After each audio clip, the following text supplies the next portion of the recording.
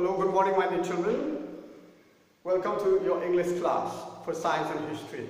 Today we are going to learn the second chapter of your Vistas, which is called The Tiger King. First, we, before we dwell onto the chapter, let us try to discuss about the author.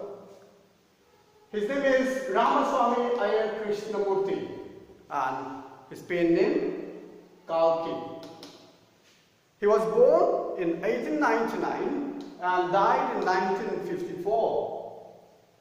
He was a great writer, a critic, poet, journalist, and an Indian independence activist. Many movies were made by him, and some of the most prominent ones were Ponniyin Selvan, Jaga Bhumi, Parthiban Kanavu, Mira, etc. He has written around some 150 short stories and some of the most uh, well-known short stories are, yes, obviously, The Time King, then Otrai Rosa, Torkolai, Ambara Vajnu, etc. Now let us move on to the summary of the story. This story is about a king. His Highness Jilani Jung Jung Bahadur, the Maharaja of Pratibandapuram. On the tenth day of his birth, the chief royal astrologer of Pratibandapuram predicted the death of the child because of a tiger. On hearing the prediction of the chief astrologer, the 10-day-old child, Prince, warned all the tigers in his kingdom. And from that day onwards, he came to be known as the Tiger King. At the age of 20, the boy prince became ki the king of Pratibandapuram. And when he remembered the prediction of the royal astrologer, he started on a tiger killing spree. He, he had forgotten all his royal responsibilities. He did not care anything about the services to the public. The welfare of the population was nil. After a certain point of time, the Maharaja found difficulty in finding tigers in his kingdom. It seems he had killed all the tigers in his kingdom. Then he went on to marry the princes of the state with the highest number of tiger population.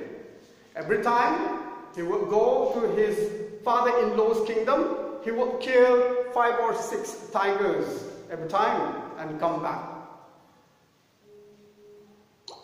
When he reached the 99th tiger, he was very desperate to kill the 100th tiger, which was going to be the reason, the cause of his death. He asked, sorry, the hundredth, uh, see, there was a news about a tiger in the nearby village, and the news proved to be very disappointing. So he asked his diwan to find the tiger or else face his anger.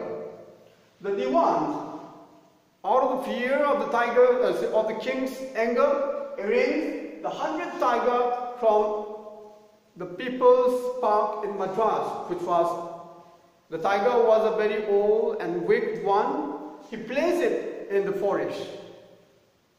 The tiger made a careful aim and shot the tiger. But unfortunately, the tiger fainted because of the because of the bullet which passed by.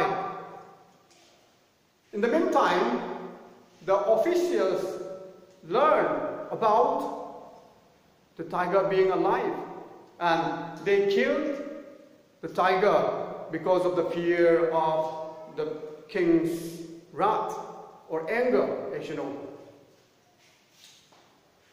The king was happy and he went on to celebrate the third birthday of his son, thinking that he had already killed 100 tiger. And on for the birthday, he bought a poorly carved wooden tiger from somewhere in the market, and then it was gifted to his son as a memento, as a present for his birthday. While playing with the wooden tiger, a sliver of the carved tiger pierced his right hand, and the king died because of the wound.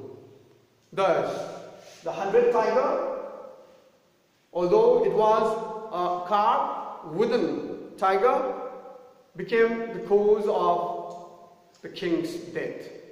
Thus, the hundred tiger took revenge on the king. Thank you.